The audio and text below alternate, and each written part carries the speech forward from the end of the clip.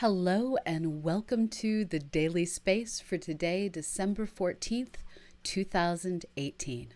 My name is Dr. Pamela Gay, and I am your host for today, and I am here to put science in your brains. We have a number of top stories today, so I'm just going to dive straight on in with a story of a cometary visitor. This is a image that kind of looks like a whole lot of speckled black. That's because, well, our sky isn't always the clearest to see things in, and this is a pretty accurate representation of what it's like to go out and try and find the newest comet in town. This is Comet Wirtanen or 46P. It's a comet that comes around the sun every 5.4 years. But last time it came around, it was closest to the sun when we were on the other side of the sun from the comet, so we didn't really get a good view. This year, the odds are completely different. It worked out that we ended up with the comet and us near one another and the comet about as close to the sun as it gets, all at the same time allowing us to see a faint green smudge in the sky. So, this is the Pleiades right here. It's a group of stars, sometimes called the Seven Sisters, Subaru in Japanese. Um, it looks kind of like a little tiny ladle. It is, uh, if you look east, you'll see Orion. Continue looking up early in the evening sky, you'll find the Pleiades. And this right here is Comet 46P Wirtanen. Now, people are having a lot of fun with this particular Christmas timed star. And what is one of my favorite acts of walking around until things line up perfectly. This photograph taken in, and I'm going to mispronounce this, I apologize, Blikkvalsi, Norway, by Tommy Eliassen uh, shows the comet lined up perfectly with the top of an evergreen tree, making this a Christmas comet. This object is bright enough for you to see without your eye. It won't look, sorry, bright enough for you to see without binoculars. You do need your eyeballs. It's bright enough for you to see with the unaided eye, but it won't look this good. Um, if you have them, take out a pair of binoculars, grab a telescope, get a good look. This is the best comet we've had for a while and that we might have for a while. To help you find it, there's well, there's star charts aplenty all across the internet. Just Google Comet 46P, finding chart, and one will pop up. Here you can see the uh, star Aldebaran, the bright burnt orange eye of the bull Taurus. Uh, you can also see here's Orion down here, and here's the Pleiades. Right now, the comet is making its way between Aldebaran and the Pleiades as it slowly moves down towards the horizon. So go out, look up, and catch yourself a comet. And while you're out there, you just might catch the tail end of the Geminids meteor shower. So do that tonight because the comet it's on a mad dash away right now and it's going to be another 5.4 years before it comes into the inner solar system again and we're not going to have this kind of an alignment for more than 20 more years. In other news we have finally found out where in the most boring place on mars the insight lander has landed. Because Elysium Planum, where the Insight Lander landed is so remarkably boring. We haven't been able to just look out at the horizon and use basic trigonometry to figure out where the lander is located. Instead, we needed to use the Mars HiRISE instrument, which is on Mars Reconnaissance Orbiter, to look down and find the spacecraft and the other debris it's scattered across the surface of the red planet. Here we see an image that contains one of the spacecraft's shields as well as the parachute. Here we have the bottom of the heat shield, which landed a bit further away. And in the center of this dark smudge, that's Insight Lander herself. All of this is scattered out about a thousand feet apart across the red surface in a nice little cluster. And uh, now we have good information on where the spacecraft is load is landed and it's also just kind of cool to be able to see things like a parachute from outer space. Now, continuing our journey through the solar system and beyond, we have a story of a star that decided to form like a planet. In this particular solar system that was observed by the ALMA millimeter array, um, the Atacama Large Millimeter Array, which is abbreviated ALMA, we have two different stars surrounded by gas and dust. And what we see here is the gas coming towards us in the blue, the gas moving away from us in the red, and two bright spots, which correspond to two pairs of star or two stars in a pair that form a binary system. This is a really unusual system. The massive star in the system, MM1b, it formed like any old star. It collapsed down, there's a, a stellar nebula around it, and uh, it's about 80 solar masses. So take the mass of the sun, multi- multiply it by 80, and you get a giant star. That other star, MM1b, on the outskirts of this disk, well, that's a companion star that's only half a solar mass, and it appeared to have formed the way planets normally form by collapsing out of the fragmenting debris disk of dust and gas. And this shows us that while Jupiter truly is a failed star, you can get planets and stars when the mass ratio is great enough, forming in the same way. This is a rare case where the ratio between these two stars is a factor of 80, 1 to 80 between the two stars. We haven't seen this before, and uh, we don't know how common this kind of a situation is. The intriguing thing is that massive star is going to live and die in just a handful of millions of years, whereas that half solar mass star, it's going to live for trillions of years as a red dwarf, which means it's going to be there to watch that one star finish forming, go through its entire life cycle, explode as a supernova, and it's just going to sit there doing its own little red dwarf thing, orbiting perhaps with some planets. And uh, it's going to be fun trying to figure out what the dynamics of that system will be after the supernova explodes. We won't be around for that, but it's still cool to know that systems like this can exist. And now we can figure out using computers just what the fate of this system will be. This is actually a busy day for solar systems undergoing formation. The Atacama Large Millimeter Array has actually been busy doing a massive survey called the Disk Substructures at High Angular Resolutions Project, or DSHARP. As part of this project, they've been imaging the disks around 20 of the nearest solar systems in the process of forming. These are young stars, in a few cases as young as only a million years old. By examining the debris disk of gas and dust around each of these young stars, we can start to get snapshots of what solar system formation looks like at a whole variety of different stages. What the scientists working on this project are finding is that it's the larger planets, the Neptunes, that appear to be forming first. Jupiter's as well, Saturn's too. The rocky worlds, they appear to form much later, forming in those places that currently appear to be, well, brightly colored swaths between dark gaps in the disk. Those gaps each represent a world that's already formed.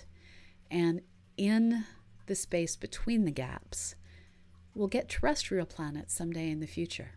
So, in this case, mind the gap because that's where the big worlds happen to be, and watch the spaces in between because that's where the terrestrial planets are going to form.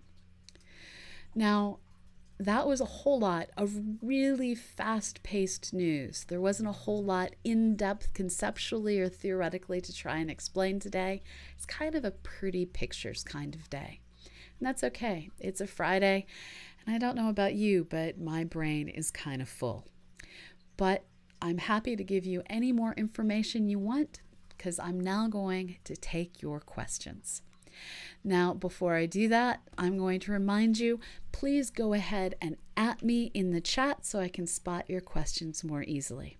And as always, I want to remind you that this show is a production of the Planetary Science Institute working in collaboration with Youngstown State University. We are here because of you. We are supported through your subscriptions, and every bit really matters. And uh, if you do happen to miss an episode, that's okay. You can always check us out over on YouTube and catch every episode just a few hours after the live recording. Now, if you are watching this over on YouTube, please give us a subscription. And uh, if you want to catch it live and ask some questions, we go out live most Mondays through Fridays at 1 p.m. Eastern. So I'm now going to take a look at your questions and thank Tom Van Scooter for resubscribing. That's five months in a row. Thank you so much for being here and being one of our supporters, Tom. Now, flipping through your questions to see what you had to say. Um, Magnus Thymer, I I don't know if I said your username correctly. Magnus asks, why was it a goal for InSight to land in the most boring part of the Martian surface? Well, in this case, it's because we're actually interested in what's going on beneath the surface. By finding someplace nice and smooth to land, nice and boring to land, they assured themselves the capability of reaching out with their seismograph, deploying it flat against the surface relatively easily, not having to try and pick their way out among the rocks. With that seismograph snug up against the soil, they're going to be able to measure uh, waves moving through the planet. Mars like all the other solid worlds in our solar system, has the potential to quake, either when it gets hit with a incoming rock from space, when there is a landslide on the surface, um, and there may even be naturally occurring Mars quakes due to geological processes interior to the planet. We just don't know. But we can find out by listening in this case, the seismograph is capable of detecting vibrations that are just the size of an atom across. By looking for uh, vibrations that tiny, they're able to measure not just the primary earthquake wave that comes in, but it turns out planetary waves they'll radiate away from an earthquake and actually go around the world more than once.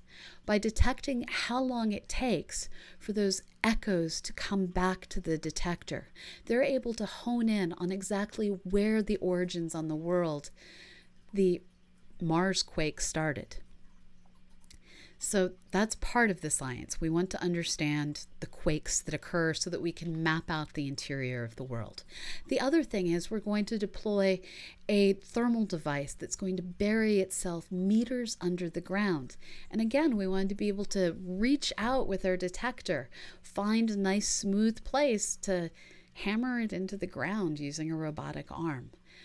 If we landed someplace rocky, if we landed someplace complex, it might be harder to find a safe place to deploy these instruments. By landing someplace good and boring, well, it's easier for us to deploy the instruments. Um, so, looking to see what other kinds of questions we have out there. Hanny is asking Could these types of solar systems have occurred more often back when population three stars were forming? Um, are, are you asking about the solar systems that have um, two stars of massively different masses, that is actually potentially possible. The, the reason I phrase it that way is early on in our universe, we didn't have as many heavy elements. It took time for carbon, oxygen, nitrogen, and everything heavier on the periodic table to form inside of stars and through the explosions of stars and the collision of stars. It's only out of stellar death that we get these heavy elements. The first few generations of stars were pretty much made of the material that resulted from the Big Bang that formed the universe. They were mostly hydrogen and helium, little bits of lithium and beryllium. And we know that the very first stars to form were probably gigantic and nothing like the stars we see today. And out of their remnants, other stars quickly formed. And it could be that in those systems we did find this happening more often because we didn't have the heavy elements to form planets and we didn't have the heavy elements that would allow the newly forming stars to radiate energy in the same ways. Now, I don't know for certain. This is just something that makes sense. And I hope that more people think about this question and we find research papers on it in the future. Um, so Magnus, um, sorry, I already got that question. Let's see what other questions are down here. Um, so someone with a dark name, the Stealth DJ, is asking Are all those protoplanet systems you just showed in the same place nebula? No, they're actually scattered about on the sky. Um, they're simply the nearest ones that we're able to get a good, clean view of. Um, so Hanny then went on to ask Do the planetary systems we are seeing usually have Jupiters and Neptunes in the normal locations? Well, we don't actually know what normal locations are. Do they have them in the places that we have them? Um, sometimes. But when we look at these disks, we're looking at things that are actually far bigger than our solar system. Over time, solar systems rearrange themselves. The planets migrate inwards, they get flung back outwards. And where the planets start during this proto- protoplanetary disk phase has no bearing on where they're going to completely end up unless they migrate all the way into the center. So, yes, we do see gas giants, ice giants in the outer solar systems, but we also see them in the inner solar systems, and we don't know what's the normal place. This is still a new area of science, and a whole lot more needs to be observed. 20 is currently our biggest our biggest example of these things. Thank you so much, Cherry Blossom, for hosting over. Um, we love raids. Thank you so much. Um, so, yeah, let me pull that image back up. So, when we look at these systems, and there's actually some more here that I cut off, um, when we look at all these dis- different systems, they all look radically different. They're astronomical units across, um, in some cases, significantly larger than our solar system, in some cases, smaller. Um, but these are the only systematically observed sample we have. And 20 isn't enough to say what is normal, what is usual, what do we expect to see. So here's to many more of these things being observed. Um, oh, Sladas has a question above. Let me scroll up and see if I can find it. So Sladaz is asking, um, is saying, I'm a 19 year old geodesy student from Russia. Oh, privyet, kaktela. Um, just ask at my uni if I can try to do something useful and interesting by my own in astronomy field and get your website suggested. Oh, that's awesome. Um, so I think it's better to ask here how difficult, interesting, useful, helpful it might be to try what you are doing. Um, we would welcome you helping us out. We have a lot of different data projects going on over at cosmoquest.org. You can drop us an email at cosmoquestx at gmail.com and we can help you find something that will produce useful science and is also really helpful for what we're doing. Um, and we have some Russian speakers. I я, я говорю по-русски чуть-чуть не очень хорошо. Um, we, we have people on our team who speak Russian really well. I'm not one of them. I just speak it kind of. So drop us an email and we'll help figure out how to get you involved. Um,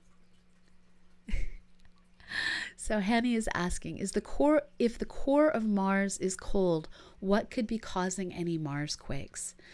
Um, so I can't speak French, Hanny. That was your next question. Is there anything I can't do? I cannot speak French. I cannot pronounce French things. When it comes to the French language, I am hopeless. Um, so, uh, quakes just means the world is shaking. Our planet experiences shakes from fracking, from nuclear underground testing, from landslides, from tsunamis. Thank you so much, Ed Thompson, for the bits. Thank you. Um, all of these different shaking experiences that the red planet has, they can come from landslides. We've seen landslides happening on Mars. They can occur when Mars gets hit by an incoming asteroid. We've seen fresh craters form on Mars. We know that it regularly gets hit by rocks from space. All these things can externally shake Mars, causing waves to ripple through the world that will allow us to map out its interior. So it's kind of cool. It's kind of cool. Um, So, so Larry, that's across all of Twitch.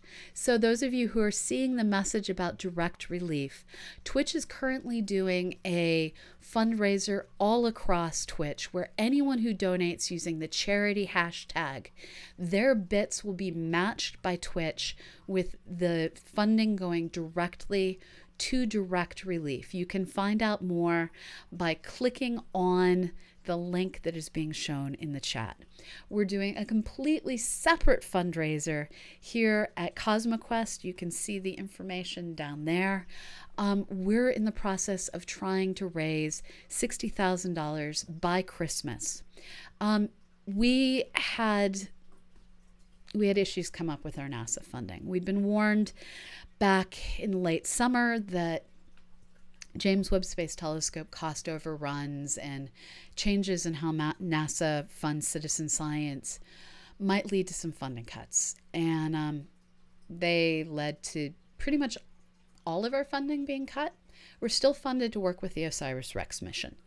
Um, but this means that we need to find new funding, and it's going to take us time to do that. And I'm hoping that all of you out there will give us some Christmas joy and make it so that I don't have to fire my entire staff for Christmas.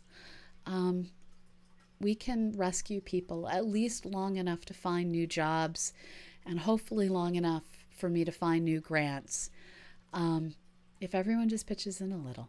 So that's that's what this fundraiser that you see linked down here is and we're going to do 40 hours of science for science on December 22nd and 23rd. It's going to be a 40 hour straight Twitch stream with multiple hosts so we don't break the terms of service. And you're all invited to show up, but you don't have to wait to donate. Um, so I'm hoping you'll spread the word. You'll ask others to contribute if they can, because together we can do a whole lot more science than we can do apart and science really can't get done without funding. So if you've ever groused that NASA doesn't get a big enough budget, this is your chance to step in where NASA couldn't anymore and help us do more science over at cosmoquest.org.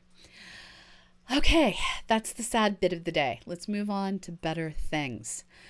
Um, yeah.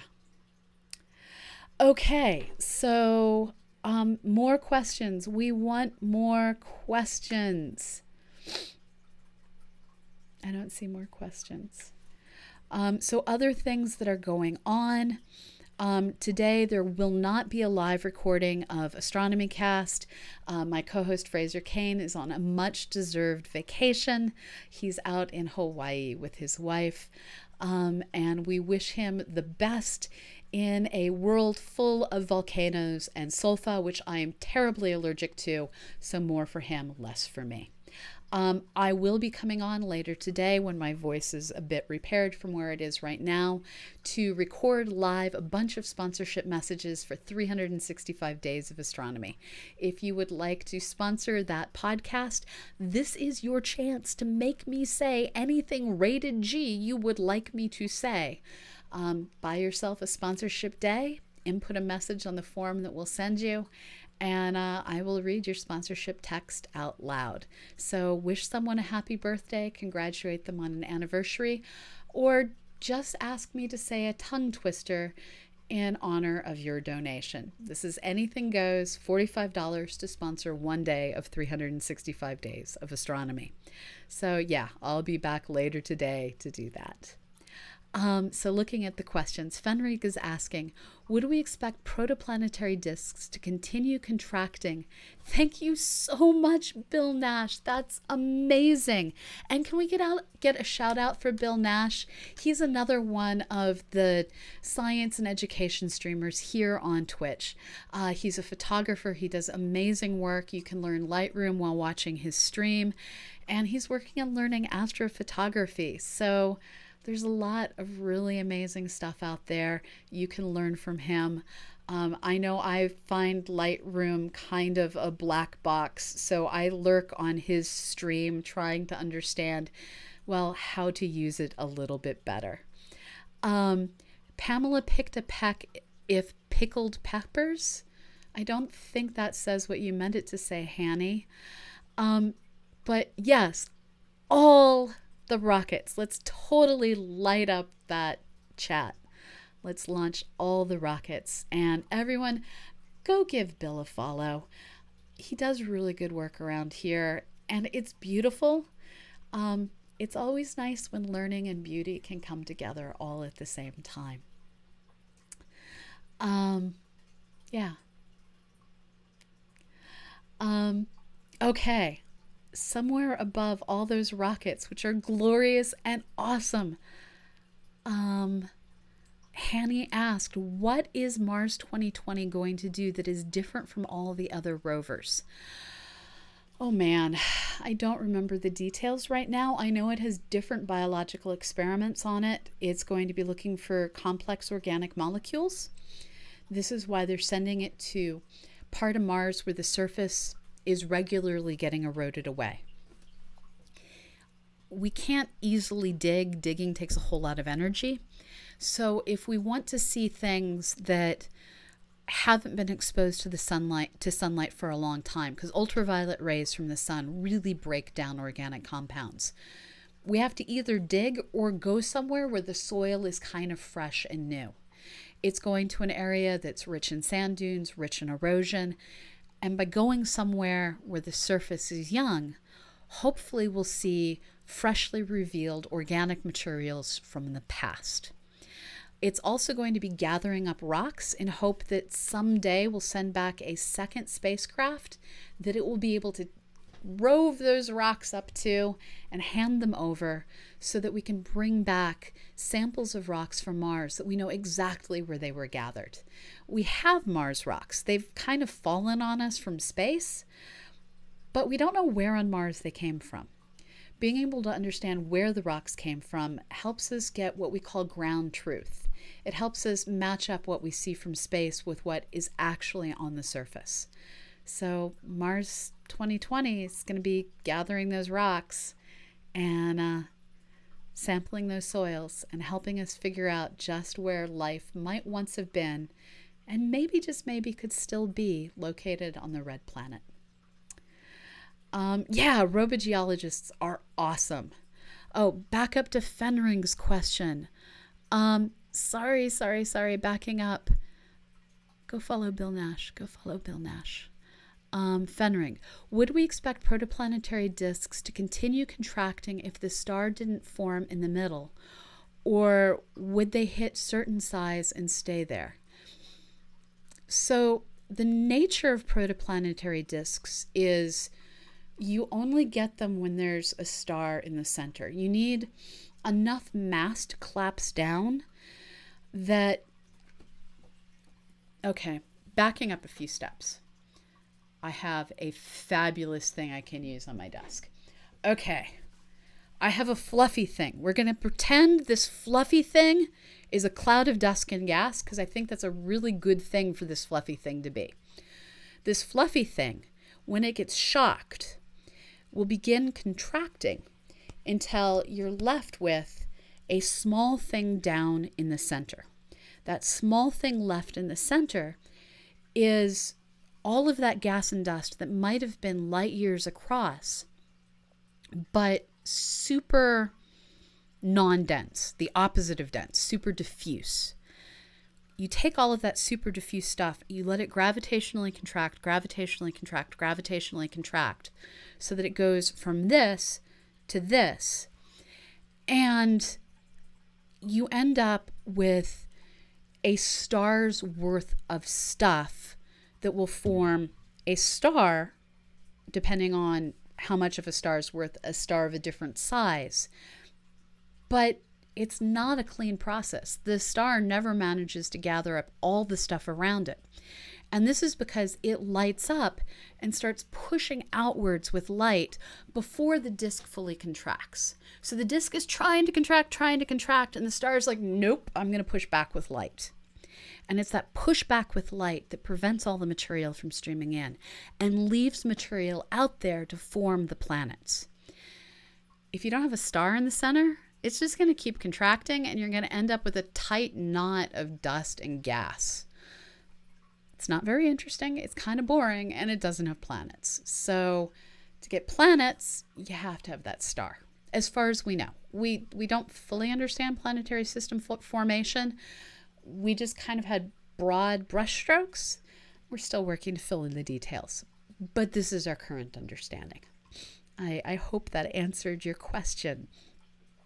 So, Hanny is asking, how do moons work since planets don't give light? So, moons are one of these things that is deeply confusing.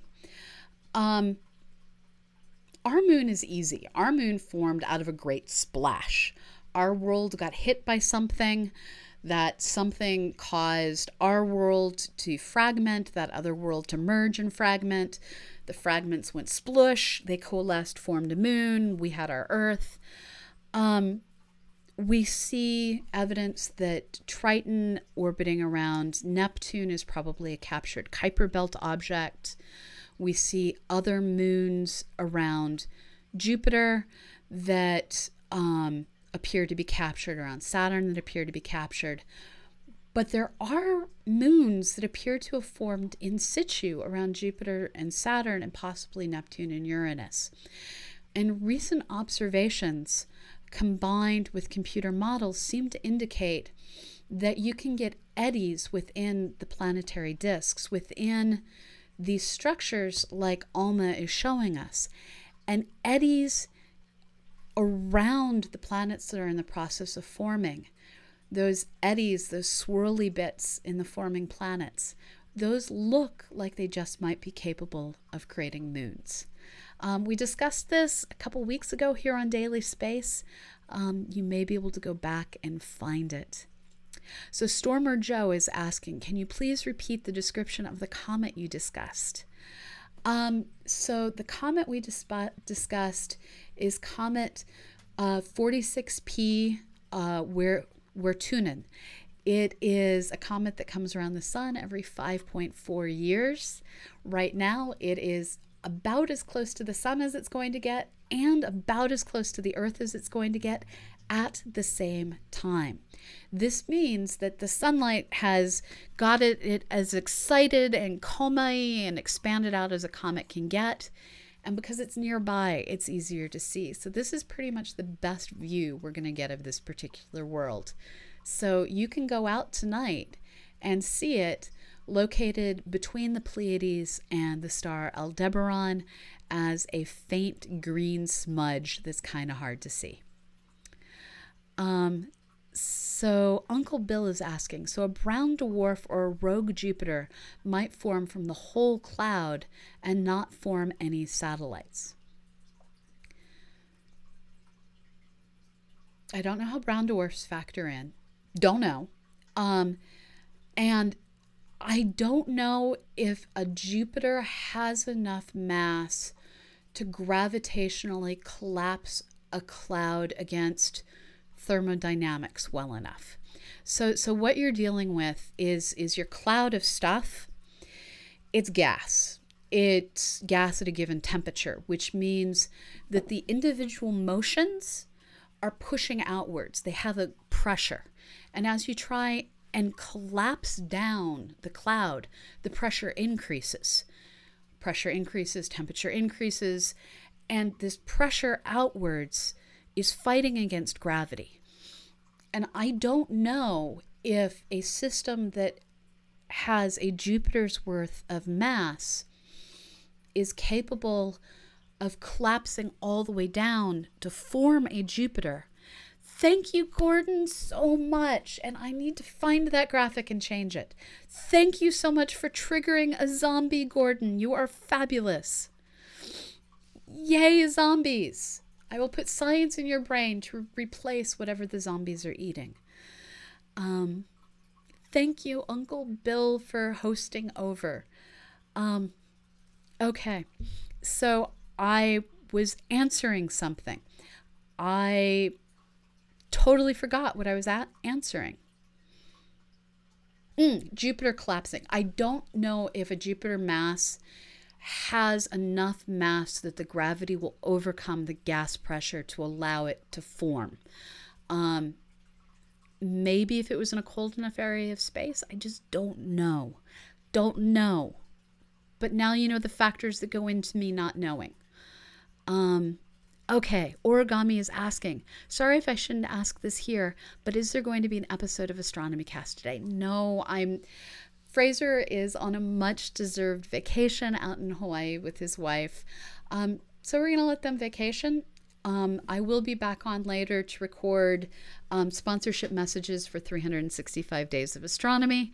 So if you want to go purchase one and tell me what you want me to say, I'll record what you want me to say as long as it's rated G. So this is your chance to make me say tongue twisters. Um, or just wish someone you love a happy birthday or celebrate your local astronomy club or anything like that. Um, yes, brains are for thinking, not for feeding zombies. I plan to feed brains science. It's what I do. Um, okay, other science questions. Um, Mimas is indeed the Death Star. Iapetus, I don't know if Iapetus has a Stargate. Um, Iapetus, I believe, is the one that's two radically different colors. Sorry. I'm still. Re- wow, I've totally lost my voice. I'm still recovering from bronchitis. Um, so let me grab a picture and try and drop it in to the slideshow for you. Um, so this is Iapetus. It is a two-tone kind of world that has a ring around it. We now actually think we understand how these form. You take two objects, you collide them together, and if you do it at just the right velocity, they end up with this weird ravioli belt around the center. Um, and Mimas does look like a Death Star. Hold on, and I'll get you a picture of Mimas. Um, it is kind of like a walnut. There's others like Pan that look very ravioli shaped. Um, I am a fan of Pan's ravioli shape. Sorry, it didn't want to copy in. What is amazing to me is Mimas, which looks like a Death Star, didn't completely fall apart when the crater on its surface got formed. Oh, I'm having all the technological drag fails. Here we go. These are not to scale, these are just the sizes of the pictures I dropped in. So this is actually a moon, Ed Thompson. This is actually a moon. Um, Oh, Arthur C. Clarke put his Stargate there. Um, I've been rewatching the original Stargate SG1 series, and I'm like, I don't think the Goa'uld ever went there. Um, okay, I need to go back and read Stargate more. Um, it's true, Pan refused to grow up and be a sphere. It is entirely true. Okay, if there are no more science questions, if there are no more science questions, I am going to leave you with a reminder to go outside and look up. Now is your chance to go see the comet 46P, Wirtanen it's not going to be back for 5.4 more years, and the alignment we're having now, we're not going to have for a few more decades. So go catch yourselves a bright green star in the sky. It's out there between the Perseids and Aldebaran. And uh, wherever you are in the world, have a fabulous morning, evening, or afternoon. Bye bye.